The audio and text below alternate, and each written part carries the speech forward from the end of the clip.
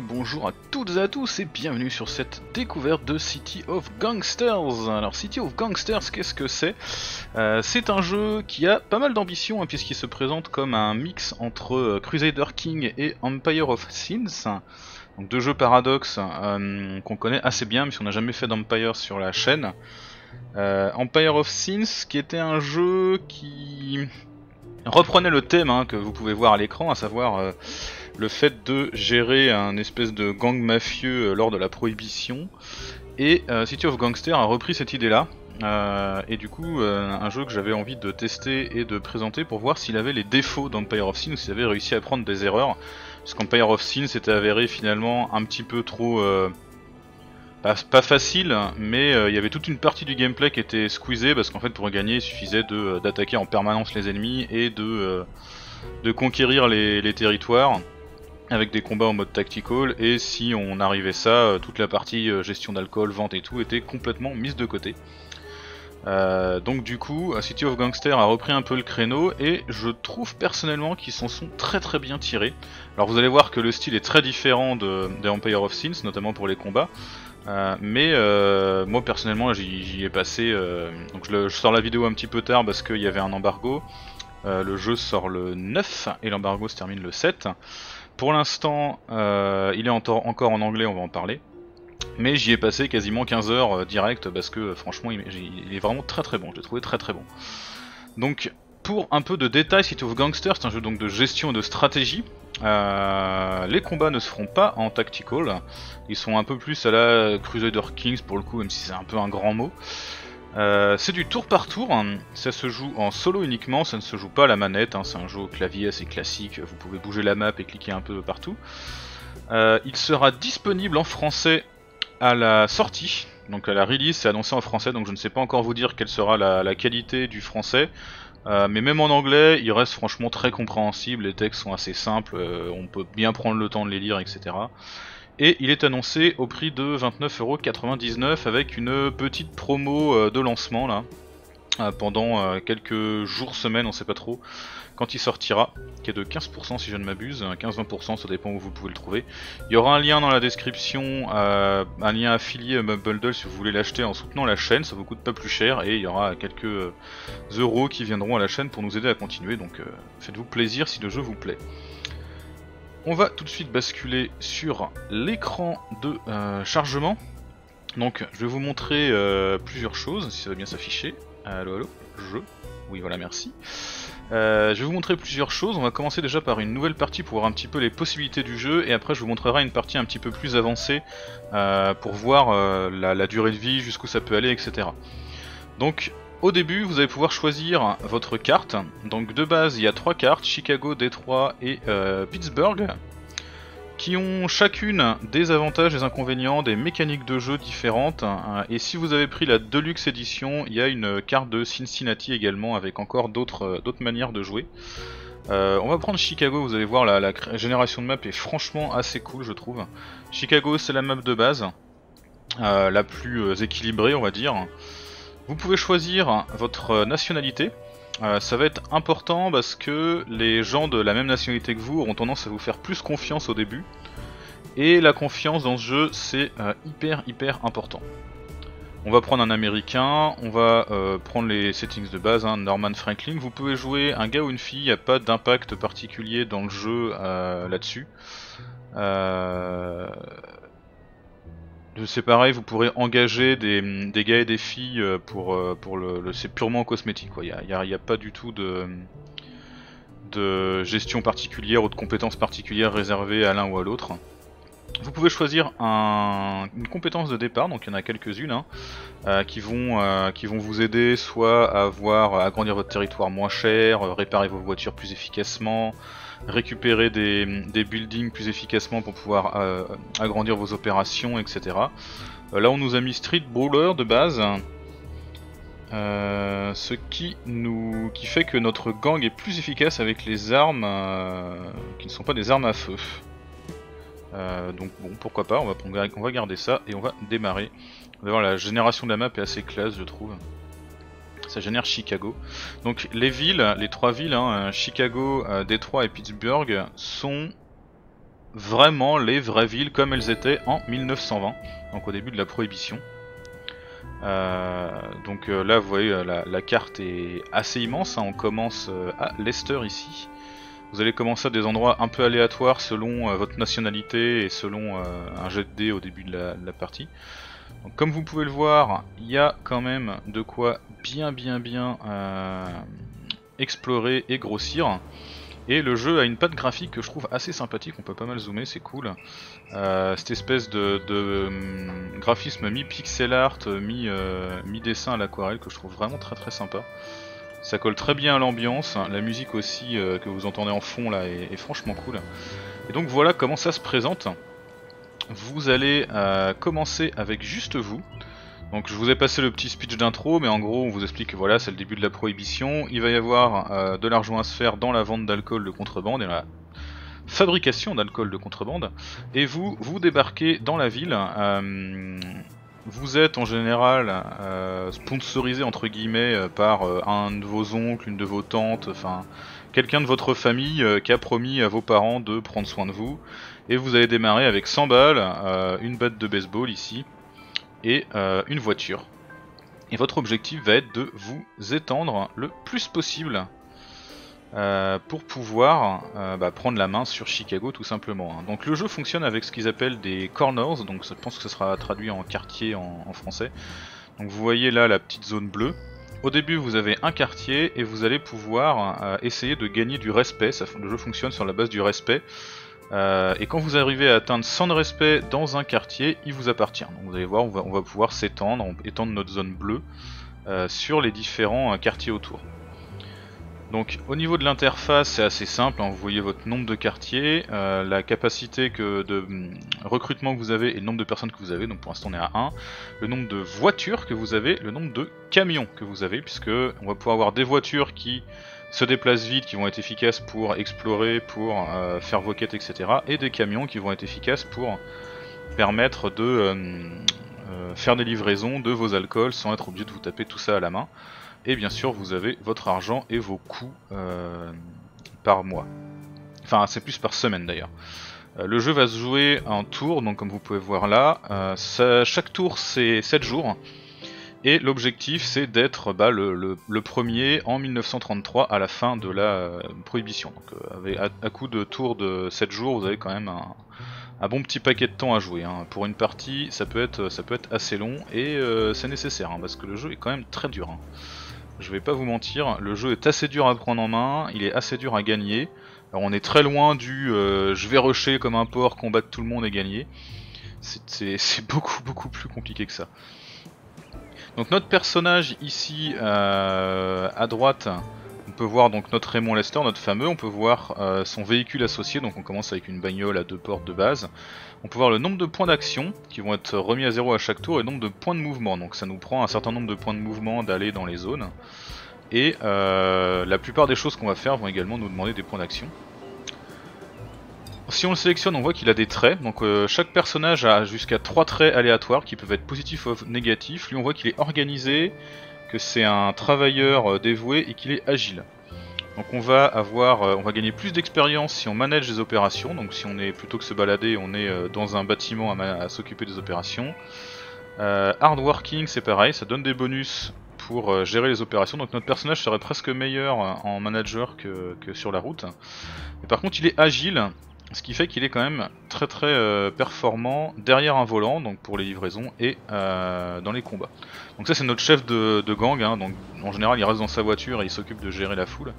Mais on pourrait éventuellement envisager de le mettre à gérer une de nos opérations. Et on a également nos buildings, donc on commence avec un buildings qui est en général tenu par la fameuse personne de notre famille. Euh, ici visiblement c'est notre tante, You Haunt. Euh, qui donc nous aime bien, a promis à nos parents euh, qu'elle euh, prendra soin de nous, etc. Et qui nous prête gracieusement son, sa petite affaire pour construire dans l'arrière-boutique notre première opération. Donc il y a plein, plein, plein de types de bâtiments. Ici on voit que c'est une Smell Warehouse et qu'elle produit du malt syrup à 12 tous les 28 jours, donc tous les mois, tous les 4 tours. En gros, c'est pas mal, ça vous rappelle euh, à chaque fois combien de tours euh, ça correspond. Donc il n'y a pas de truc compliqué à calculer. Euh, mais il y a plein d'autres types de bâtiments. Ici, on voit qu'on a par exemple un, bâtiment de mécanique auto. Apparemment, ici, un bowling. Ici, on a une petite épicerie. Ici, une casse. Là, encore une warehouse. On a des bâtiments qu'on ne connaît pas, mais on peut avoir des boulangeries, des cafés, des hôtels, tout un tas de choses, et des stations de train, enfin plein plein de trucs différents, qui vont chacun vendre des choses légales accepter que vous leur vendiez certaines choses illégales s'ils ont confiance en vous, et uniquement s'ils ont confiance en vous, euh, et qui vont bah, vous permettre de développer votre petite affaire. Donc en général de base vous commencez avec un building qui fournit une euh, ressource qui va vous permettre de fabriquer de l'alcool. Donc il y a plein plein d'alcools différents dans le jeu. Les quatre alcools de base c'est euh, le cidre, la bière maison, le vin maison et euh, ce qu'ils appellent le moonshine, euh, qui est un genre de d'eau de vie, euh, raffinée à partir d'alcool pur. Donc ici on commence avec du malt syrup, donc je pense que ça c'est pour faire de la bière. Donc on commence toujours avec une, compétence de base. Ici on voit bien on a notre compétence homebrew production, donc on va pouvoir faire une bière, une bière de base. Et on connaît également l'existence de ces euh, trois autres fabrications euh, d'alcool, mais vous voyez, on n'a pas la compétence. On ne sait pas en faire. Et on va pouvoir bien sûr apprendre des compétences et fabriquer, euh, éventuellement construire ce genre de choses dans d'autres bâtiments, si on arrive à débloquer d'autres bâtiments, pour diversifier nos opérations et améliorer nos bénéfices. Et bien évidemment, on va pouvoir débloquer plein plein d'autres alcools, plein d'autres types d'alcool, et on a même la possibilité, donc pour l'instant on n'a pas non plus le, skill, la, compétence qu'il faut, mais on va pouvoir faire euh, nos propres speakeasy et vendre nos alcools directement si on le souhaite, plutôt que trouver des gens euh, à droite à gauche pour les vendre. Donc pour faire notre première unité de production, on voit qu'il nous faut 12 de malt sirop et 50 euh, pots. Ça produira 50 pots de bière tous les 28 jours. Il nous faut 600 et 4 planches. On a justement 4 planches, on a par contre que 150 dollars en tout, mais on a 125 bières toutes prêtes à être vendues et également 25 moonshine toutes prêtes, tout à être vendues. Qu'on peut charger dans notre voiture, on va commencer par ça. Donc notre voiture a une contenance, hein, maximum 65% full. Et l'objectif ça va être de commencer à, faire notre, euh, nos premiers réseaux euh, de cette manière là. Donc on va ouvrir une fenêtre de réseau pour voir un peu à quoi ça ressemble. C'est très important les réseaux dans, ce jeu. Euh, si on prend par exemple notre tante, on voit qu'elle connaît cette personne là et qu'elle connaît une personne très très loin qu'on ne voit pas.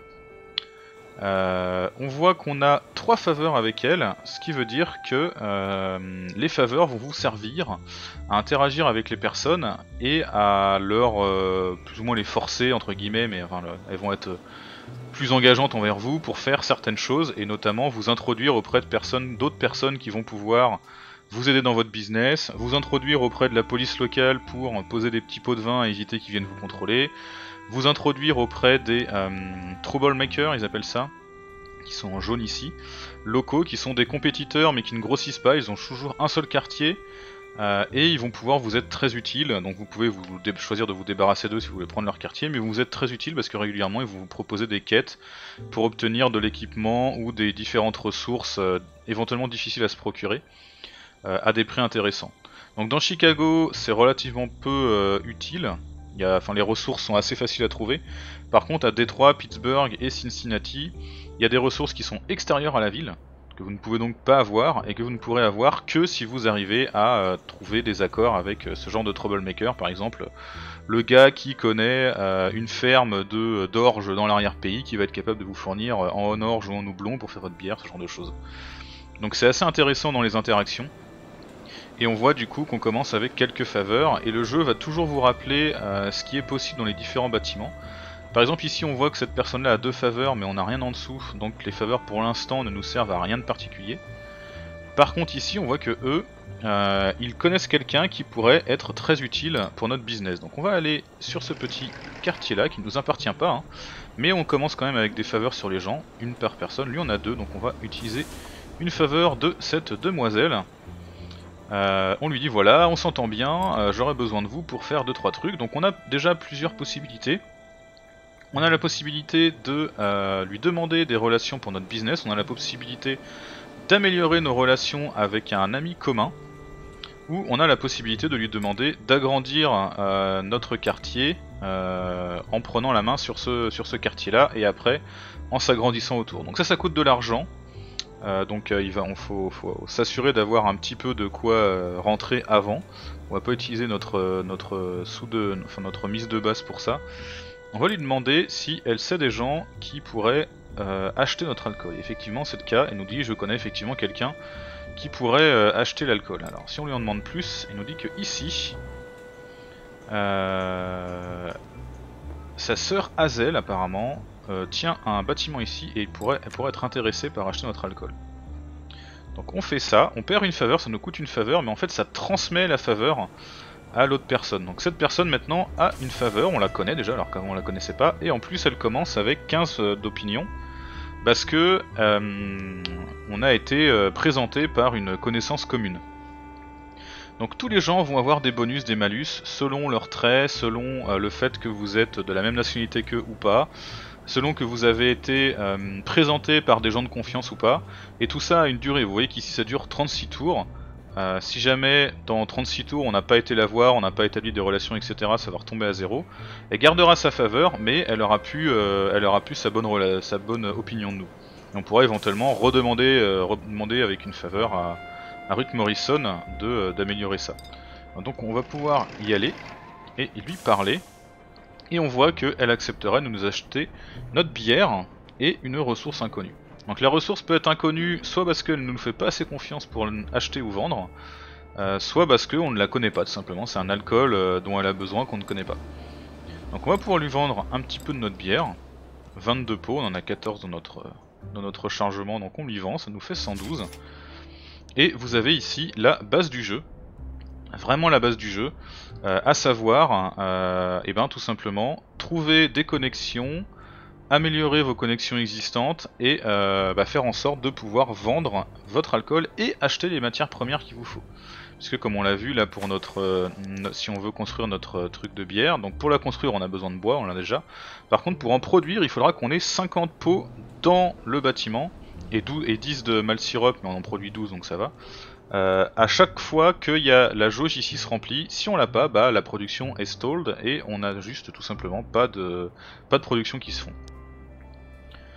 Donc il va falloir mettre en place euh, des connexions, il va falloir trouver des gens à qui acheter vos matières premières, des gens à qui vendre vos matières premières, et à terme embaucher des euh, conducteurs sur lesquels vous allez pouvoir faire différents, euh, différentes deliveries. Donc il y a un système de delivery qu'on verra dans, la partie qu'on va voir tout de suite plus avancé, qui est assez pratique, qui est vraiment sympa, qui est assez bien fait en plus, qui va vous permettre de faire des circuits dans la ville pour aller vendre les trucs, chercher des matières, etc. Grossir de plus en plus, étendre votre territoire et à terme euh, affronter les gangs rivaux, puisque comme je vous le disais, les troublemakers ici ne prennent qu'un quartier, mais il y a un certain nombre de gangs rivaux dans la ville qu'on ne connaît pas encore. Tout ce qui est en grisé, c'est ce qu'on n'a pas exploré, et qui, euh, bah, vont euh, essayer de s'en prendre à vous, bien sûr. On va retourner sur le menu et on va charger une petite partie un peu plus avancée pour voir un peu à quoi ça ressemble. Une fois qu'on est avancé. Donc c'est sur Chicago aussi cette partie. Et ici on joue Josephine Hithead Mitchell. Euh, alors Hithead parce que quand votre personnage va prendre de l'expérience, car oui vos personnages prennent de l'expérience, j'en ai pas parlé mais on va en parler maintenant, euh, eh ben ils peuvent gagner des surnoms éventuellement, donc vous n'êtes pas obligé, hein, mais ça fait que quand ils gagnent un surnom, vous la voyez euh, sur ce nom-là dans votre dans votre liste, qui permet de leur donner des spécialités et éventuellement de, de vous souvenir un peu plus facilement ce qu'ils font.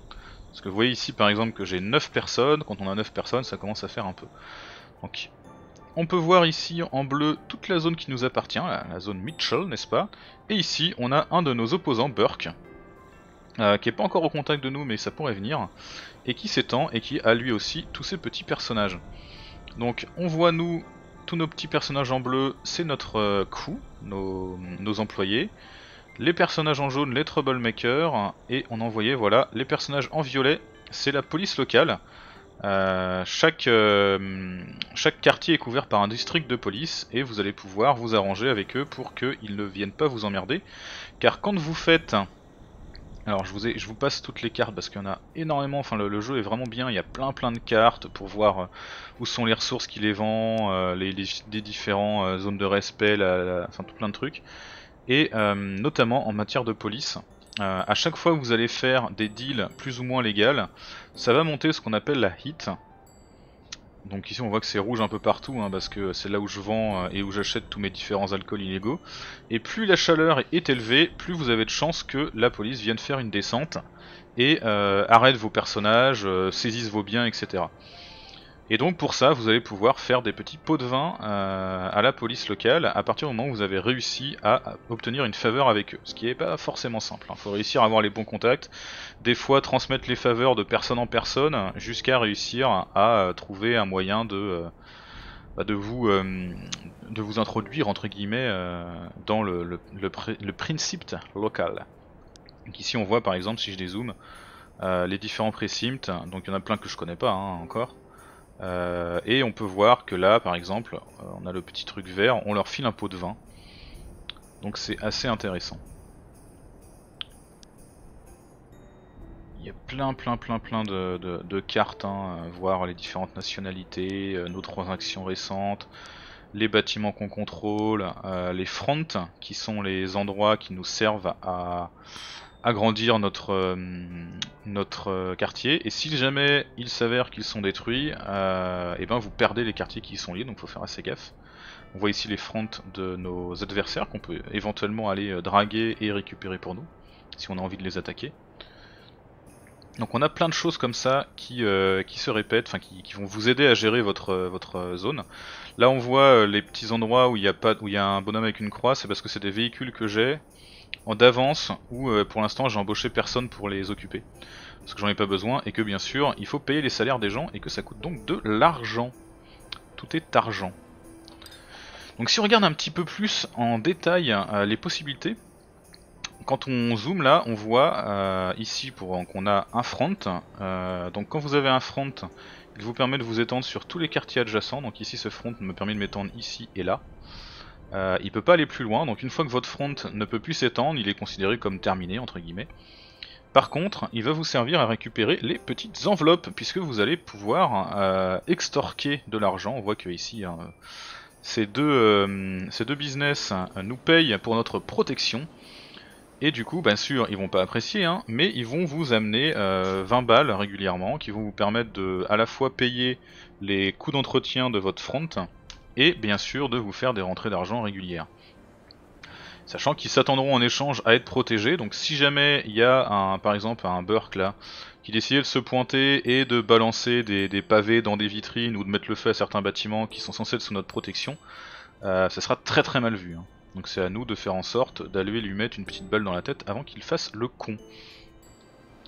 Euh, si on veut parler rapidement des combats. Il me reste qu'un seul point de mouvement, donc on va passer le tour.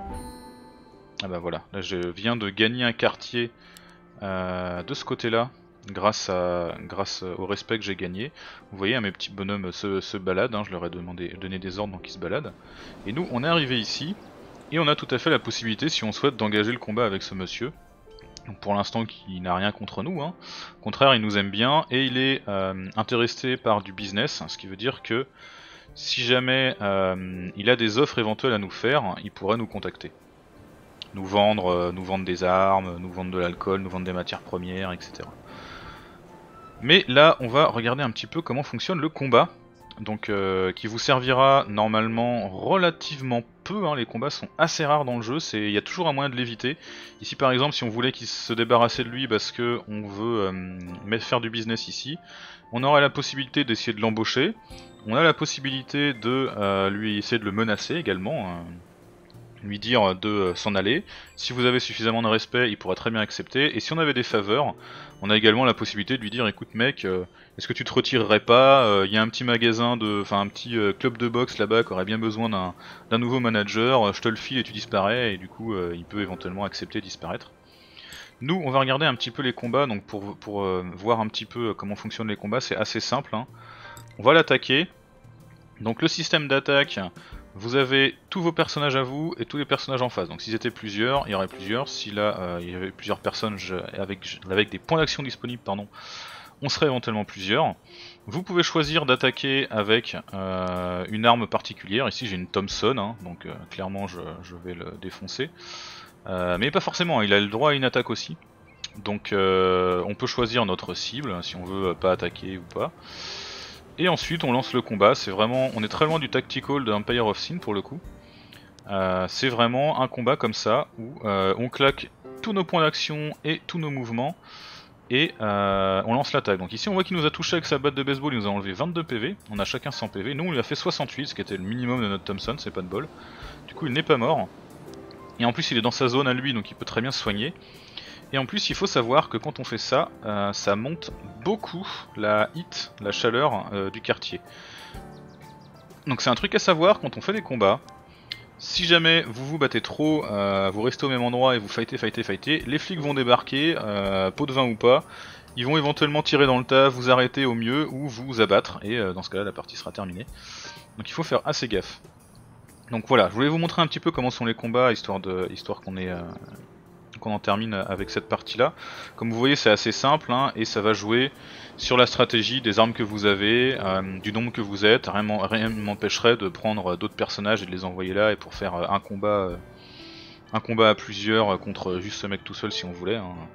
Et une fois que vous les tuez, vous pouvez fouiller leurs cadavres, fouiller leur, maison, enfin leur, leur, building, etc. Et ça revient au même sur les gangs rivaux, bon les gangs rivaux qui sont un peu plus vénères, hein, puisque eux aussi ont des employés mais euh, que vous pouvez également attaquer et conquérir de cette manière-là. Donc voilà pour le concept euh, des combats. Alors il y a plein d'autres trucs à voir dans le jeu, hein. il y a un système de quêtes notamment que vous pouvez voir à gauche là, plein de, gens euh, qui vous donnent des quêtes, plus votre, plus votre gang grossit, plus vous pouvez prendre de quêtes simultanées, ici je peux en prendre 8 par exemple, j'en ai 6 sur 8. Euh, les quêtes vont vous permettre de débloquer des nouvelles compétences. Il y a un, système de compétences qui est euh, franchement euh, crew skill, voilà, qui met plein plein plein de compétences différentes que vous allez pouvoir apprendre pour améliorer vos bâtiments, pour améliorer vos négociations, pour améliorer vos fronts, pour faire d'autres types d'alcool, etc. Fabriquer vos matières premières vous-même plutôt que les acheter, comme on parlait par exemple la dernière fois des, des crocs là, des pots. Euh, vous pouvez éventuellement les trouver une, compétence pour les fabriquer vous-même plutôt que de devoir euh, parcourir la ville pour aller en acheter à droite à gauche. Donc il y a plein plein plein de compétences différentes. Et euh, une fois que vous avez toutes ces différentes compétences, et eh ben, vous pouvez réussir à débloquer des buildings. Donc vous voyez qu'ici j'en ai déjà pas mal hein, par rapport à, notre personnage de base de tout à l'heure. Et pour vous montrer un petit peu les diversités d'alcool possibles, je les ai encore pas toutes trouvées. Donc ici on a celle que vous avez vu de base. Hein le moonshine, le cider, le brew et le brick wine. Donc j'ai aussi débloqué de quoi améliorer euh, euh, la bière et le, vin. Donc euh, ça double en gros la production. J'ai débloqué de quoi fabriquer mes matières premières moi-même si je le souhaite pour le vin et, et la bière. J'ai débloqué de quoi faire des petits garages, ce qui va augmenter mes capacités de véhicules, ce qui est assez utile. les différents bootlegger, donc les speakeasy et bootlegger pour pouvoir vendre vous-même vos, vos productions. Et surtout vous voyez encore tout un tas de trucs. Alors j'ai même pas encore tout débloqué hein, mais on peut faire de la bière améliorée. À partir de bière on peut faire de la bière améliorée qui se vendra bien sûr deux voire trois fois plus cher.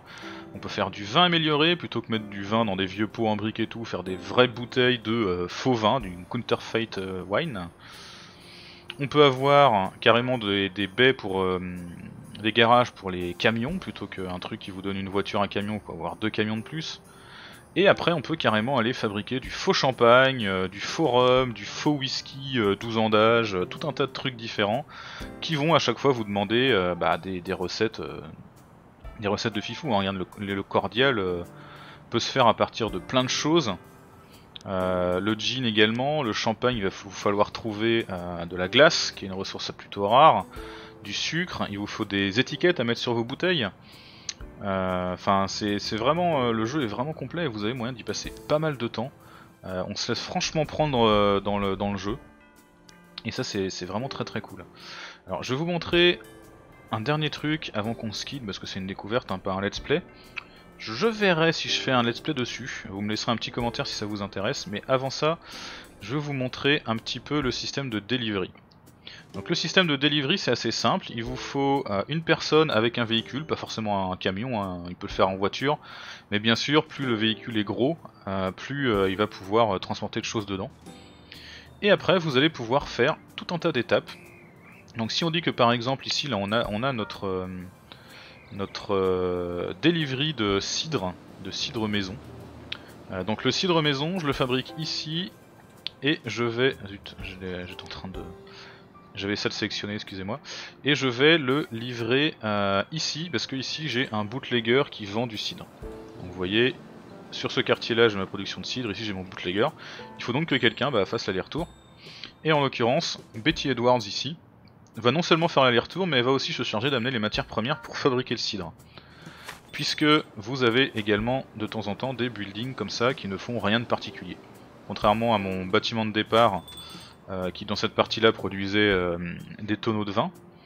Euh, ce bâtiment là ne produit rien du tout, donc du coup c'est à moi d'aller chercher les matières premières et de les amener tous les 35 jours, sinon le, système, enfin le, bâtiment ne fonctionne pas. Et donc si on reprend notre petite Betty qui fait le déplacement, c'est assez simple, hein, vous voyez, étape 1, elle va chercher un maximum de hardseeder ici, ensuite elle dépose tout le hardseeder qu'elle a ici. Elle en profite pour prendre toute la thune disponible, puisque hein, si elle n'a pas d'argent, bah, elle va pas pouvoir aller acheter euh, les matières premières. Donc elle récupère l'argent qu'elle a, ce qui fait que nous, comme ça, on n'a pas à le faire. Et après, elle va faire le tour de la ville pour aller acheter des Stoneware Crocs. donc vous voyez tous les petits trucs rouges ici, euh, c'est tous les magasins où elle va acheter euh, des ressources. Donc à chaque fois on a une petite flèche avec la ressource qu'elle achète, donc ici on voit qu'elle descend tout en bas acheter euh, du jus de pomme parce que c'est le seul endroit de la ville où on en trouve. Et ici, elle achète dans ces trois magasins là euh, des pots pour pouvoir euh, les amener ici et fabriquer notre, notre petit cidre. Et donc comment ça fonctionne? Vous avez, quand vous, quand vous ajoutez une, une, étape, vous pouvez choisir plein de trucs, acheter des ressources, vendre des ressources, aller chercher quelque chose dans un stockage, déposer un truc, s'assurer d'avoir suffisamment d'argent en main, ou alors carrément aller collecter euh, un front. Et à chaque fois quand vous choisissez une étape, ça vous met tous les bâtiments pertinents. Donc ici par exemple, collecter d'un front, on nous affiche tous les fronts. Et euh, vous allez pouvoir dire, bah voilà, tu vas aller euh, connecter là-bas, pouf par exemple, pouf. On save la... On, les... on, sauvegarde pardon l'étape, on en fait une nouvelle. Donc vous avez classique, hein, sauvegarder l'étape, sauvegarder en faire une nouvelle, ou alors annuler les changements et revenir. Et vous allez pouvoir dire, bah voilà, dans l'ordre, tu vas venir ici, après tu vas venir là, après tu vas venir euh, par exemple à celui-là, et puis à celui-là, etc. Et vous pouvez faire comme ça votre petit chemin, et à la fin vous allez dire, bah par exemple, une fois que tu as tout terminé, euh, tu vas aller euh, déposer ton argent dans mon bâtiment principal, en l'occurrence c'est le Rosemary's Foot Co. et puis pouf, elle va, on dit voilà, et là elle va avoir toutes ces nouvelles étapes récupérer l'argent, récupérer l'argent, récupérer l'argent, aller le déposer, puis après elle va boucler comme ça. Donc vous allez pouvoir comme ça faire des, des deliveries que vous allez bien sûr pouvoir euh, organiser. Hein. Alors euh, on peut les monter avec des flèches, on peut aussi directement changer le numéro, ce qui, est, ce qui est plutôt pratique quand vous avez des grandes deliveries comme ça. Vous pouvez dire à votre driver, bah euh, on désactive cette étape parce que pour l'instant c'est pas pertinent. Vous pouvez lui dire d'annuler ce qu'elle est en train de faire. Normalement il y a une petite flèche voilà sur ce qu'elle est en train de faire. Et vous pouvez lui dire bah du coup va plutôt faire ça directement. Euh, laisse tomber tout le reste et va, directement ici. Ce qui permet de gérer assez euh, manuellement les trucs. Vous pouvez lui dire d'arrêter de, la delivery si vous voulez la récupérer pour faire autre chose. Parce que par défaut, au début de chaque tour, ils vont utiliser tous leurs mouvements et toutes leurs actions disponibles pour faire un maximum de tâches en une fois. Donc si par exemple j'avais besoin de renfort ici, je pourrais lui dire, bah, enfin en l'occurrence c'est pas Betty ici, mais Marjorie qui est là, je pourrais dire arrête ce que tu fais et au prochain tour elle aura tous ses points d'action et tout pour me rejoindre et finir le fight. Donc voilà en gros les concepts, après vous allez découvrir, hein, il y a des possibilités de se soigner, des possibilités, d'avoir des meilleures armes, euh, d'agrandir vos, quartiers de manière différente, il y a plein de moyens de débloquer des buildings. Ici on voit également euh, des maisons résidentielles, à partir d'un certain niveau dans le jeu vous allez pouvoir avoir des contacts avec des, particuliers qui vont organiser chez eux des soirées tranquilles euh, avec un petit peu d'alcool et qu'apprécieraient que vous leur fournissiez un petit peu d'alcool. Parce que voilà quand il y a des hommes politiques qui passent ça fait plus classe d'avoir 2-3 verres Et du coup, vous pouvez y aller ou y envoyer des, personnes de votre entourage qui, sont, ont des, des, bons contacts humains et vous faire des nouveaux contacts, découvrir des nouvelles euh, sources d'alcool, etc. Enfin, c'est vraiment un jeu euh, qui s'auto-nourrit et qui est vraiment, je trouve, très très bien. Donc voilà un petit peu pour la présentation, elle est assez longue, donc je vais m'arrêter là. Euh, encore, je suis encore très loin d'avoir tout dit et d'avoir exploré tous les concepts, même moi-même, hein, même si je voulais vous les présenter, je ne les connais, je pense, encore pas tous. Mais voilà un petit peu un aperçu de City of Gangsters, un jeu qui est franchement assez difficile à prendre en main, avec des concepts simples mais assez difficiles à prendre en main, et sur lesquels on peut passer beaucoup de temps, euh, très très loin de Empire of Sin, où voilà, on rushait une partie en combattant tout le monde, et puis après, bon, bon à peu près fait le tour là. Là, rien que les trois maps, je les ai testés toutes les trois, je me suis fait dépouiller sur toutes les trois, euh, sont, euh, sont, sont toutes différentes, avec des difficultés différentes, des gameplays différents, enfin franchement, franchement très sympathique. J'espère que cette découverte vous a plu. Si jamais ça vous intéresse de voir un let's play, bah, n'hésitez pas à me laisser un petit commentaire. Euh, je pense que ça serait assez intéressant à caler dans le planning. En plus, on peut renommer les personnages et tout, donc euh, il y aurait moyen de mettre des, surnoms assez sympas aux gens. Et, euh, et ben, je vous dis à très vite pour la suite. Merci à toutes et à tous.